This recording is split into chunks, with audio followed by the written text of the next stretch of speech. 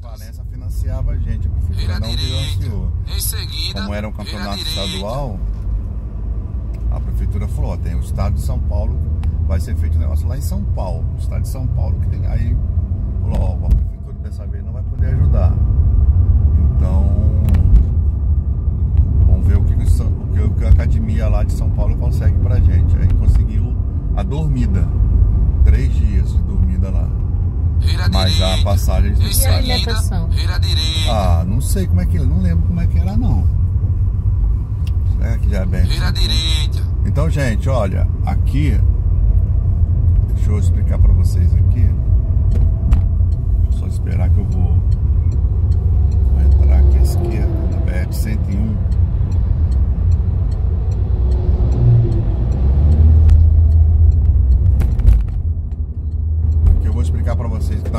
RJ224, né? Vou deixar um vídeo aí depois. Que vai começar o outro vídeo da BR-101, tá? A gente vai pegar aqui 33 quilômetros e vamos entrar para Piacá, São José dos Calçados, Bom Jesus da seguindo para o nosso caminho. Então aqui nós estamos pegando o um caminho para lá é Rio de Janeiro, Campo dos Coitacazes. Para cá é Vitória, tá? Mas nós vamos ter que entrar num pedacinho aqui retornando porque o nosso caminho é outro ali para 040, tá? E depois da primeira 116, né? Rio Bahia, e depois para 040. Então nosso caminho não é capital do Rio de Janeiro. Apesar da gente morar no estado do Rio de Janeiro, a gente mora no sul fluminense, lá em cima, perto de Volta Redonda. Então o caminho é esse aqui, tá gente?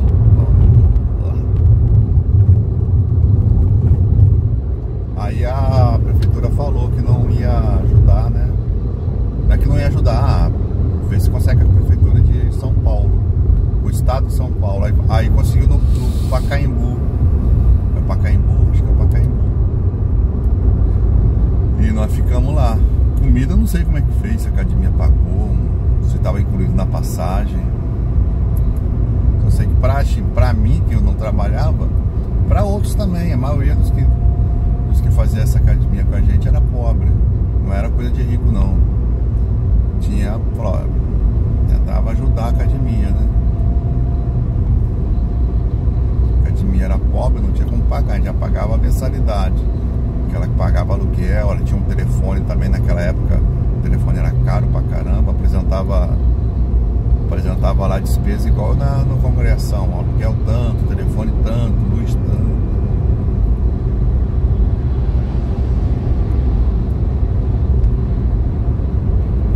tá atravessando a faixa contínua, né? Não dando exemplo, né? Não, exemplo. Não dando exemplo. Nem tá em operação, não.